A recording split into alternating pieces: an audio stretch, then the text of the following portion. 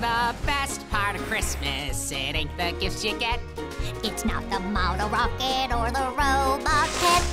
It's not the things you give, even though that's what you think.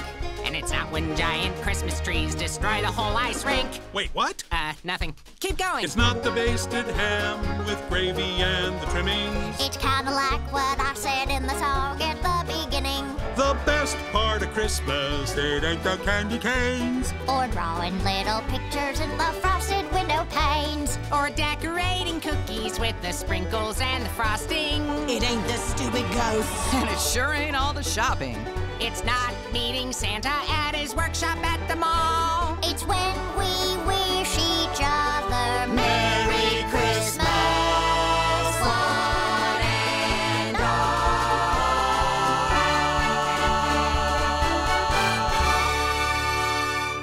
Christmas!